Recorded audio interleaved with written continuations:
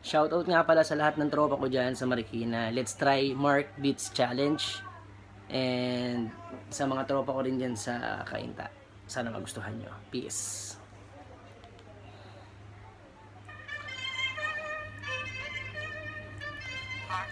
Sa panahon ngayon, hindi na nga uso lumabas Pag tinamaan ka ng COVID, siguradong buhay may pitas. Ang angas-angas pa kapag lumabas pa ng lansangan Ng tigas ng ulo, talaga ang utak may kalawang na. Maraming tao na ang nagbuhis ng buhay. Yung ibang frontliner nga na gustong mag-stay sa bahay. Marami-rami din na sakripisyong kabuhayan. At ngayon nangangamba kung paano kami mabubuhay na. Ikaw, ikaw yung bata na pabibo. Ang dapat sa iyo, baunan ng bala sa sentido. Pwede tayong sumunod para sa ating kaligtasan. Kung ayaw mong sumunod, kang sumunod kay kamatayan na ang dami-dami pang patama niya sa net. Kung walang magandang magawa, dun sa bahay maglikpit tumulong sa magulang at ikaw ay makinig. Baka sa susunod, ikaw na tong nanginginig yo, sa takot kasi tinamaan na ng virus. Sa sobrang gigil ko, gisit ang pahigain sa cactus. Wala nang matigas ang ulot, sumunod sa batas. Darating din ang oras, lahat ito'y malulutas. Kaya, yo, isang tabi muna ang yabang humingi tayo ng tao sa Diyos na naglala